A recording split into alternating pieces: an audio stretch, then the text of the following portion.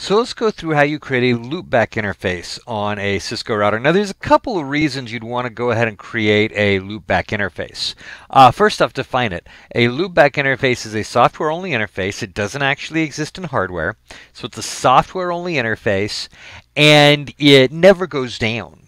So they used to be used quite a bit for router identifications for routing protocols and things like that because it was an interface that never went down. And they're, st they're still occasionally used for that. They're also used for testing because I can create a loopback interface on a router and then I can try to ping that loopback interface and that will tell me if my router is up even if another interface on it might be down. I can also advertise loopback interfaces to verify that my routing is working. So that's a common use for it. So I'm using the same um, the same router that we used for a previous video. There's some IPv6 stuff configured on it. That's about it. That's not going to get in our way. So we're going to go to privileged exec mode. And uh, let's go and do a show run. And we'll just look at some of our interfaces here. So I have interface G00, G01, and there you can see some stuff that we did before. G02, a VLAN, and that's all of my interfaces. I don't have any loopback interfaces. So what I have to do is I have to define one and then configure it. So I'm going to issue the command config t, and I'm going to create a loopback interface, and I'm going to call it loopback 0. So my command is just interface loopback 0. Or if you're being lazy, you can call it LO0. So, interface loopback 0 change state to up, line protocol change state to up. Now remember, it's not actually connected to anything because it doesn't exist, but it's an always up interface. Well, now that I have my interface, I can set an IP address on it. Once you have your interface, by the way, you configure it just like you would any other interface. Uh, so I'm going to go to, whoops, not interface, IP add 172.16.31.1 with a subnet mask. And we'll set a description.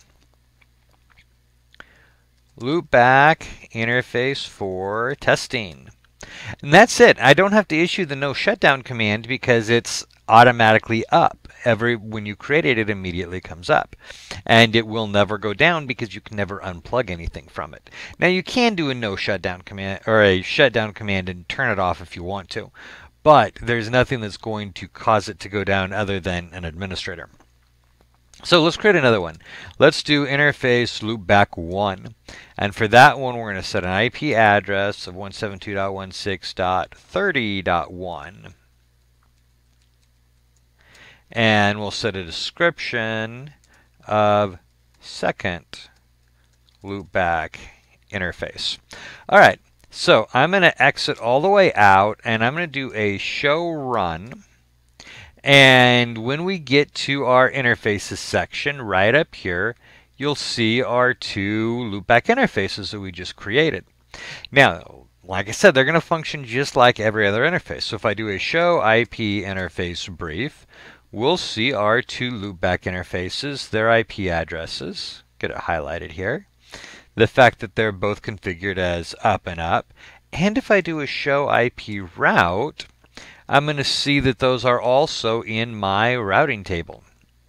So there we go. We have now configured and verified loopback interfaces on an on a Cisco router. Now I configured them with IPv4 addresses. You can configure them with IPv6 addresses as well. They work just like a regular interface.